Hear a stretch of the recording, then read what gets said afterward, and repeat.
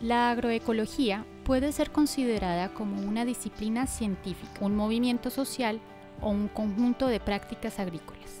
Entre otras técnicas, la agroecología agrupa agroforestería, agricultura biológica, compostaje o abonos verdes.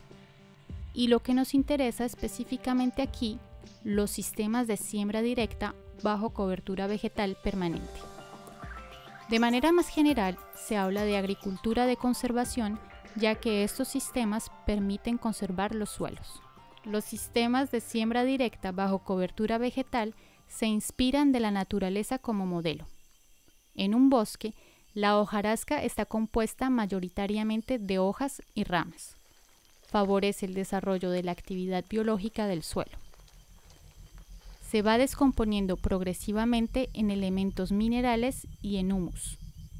Gracias a sus raíces, el árbol es capaz de extraer estos elementos y reciclarlos. Los sistemas de siembra directa bajo cobertura vegetal procuran reproducir este funcionamiento apoyándose en tres principios. El primero, ya no se ara el suelo. El segundo, este queda permanentemente cubierto. Y por último, se practican rotaciones y asociaciones de cultivos. Los sistemas de siembra directa bajo cobertura vegetal descansan en la producción de una gran cantidad de biomasa en las parcelas. Además de conservar la materia orgánica y así el carbono del suelo, la biomasa regula la temperatura y la humedad, protege contra la erosión, alimenta los microorganismos y puede nutrir a los animales.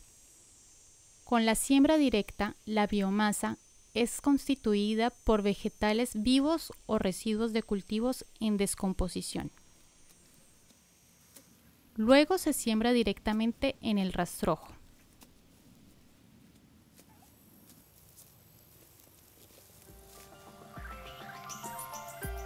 Cuando es necesario, los agricultores secan la cobertura vegetal mecánicamente o químicamente.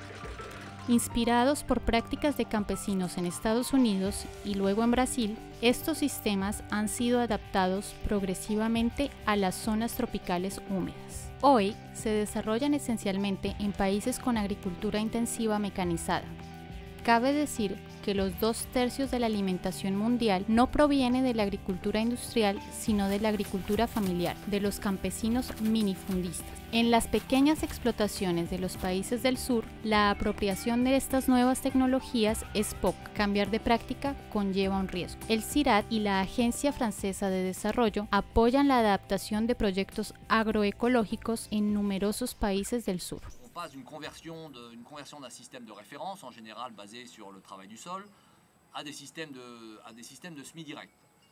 D'abord, quand on les introduit, ces systèmes de semi-direct, les, les gens qui les introduisent, euh, c'est une innovation qui est en construction. Donc le, système technique est loin d'être parfait.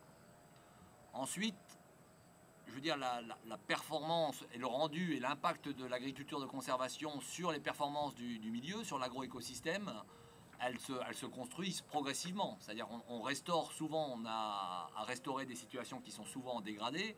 Ça, ça ne se fait pas, ça se fait pas en, un an.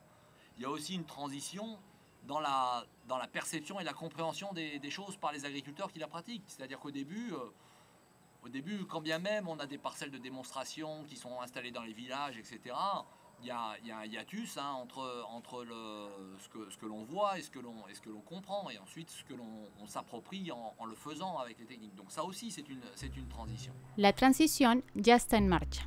Las estrategias de difusión Estas dependen de los contextos nacionales. Vamos a evocar los medios llevados a cabo para esta transmisión en tres contextos bastante diferentes, Madagascar, Camerún y Camboya.